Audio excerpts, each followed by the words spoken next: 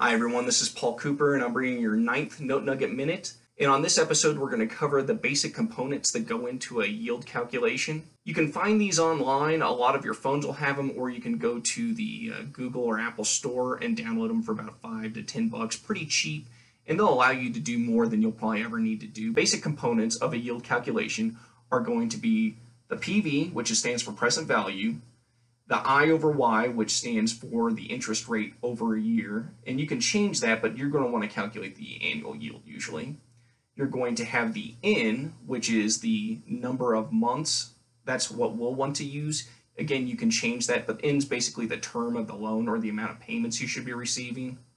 You're going to have the P&I, which is the principal and interest payment.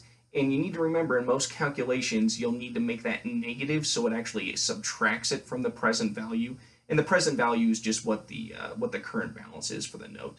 And so it needs to be negative so it subtracts to it otherwise you're not going to get a correct calculation. And then lastly on a lot of these you'll see FV which stands for future value and you will want to set that to zero because the future value of the note should pay off and that loan amount should be zero. And those are the basic components of a yield calculation on a financial calculator.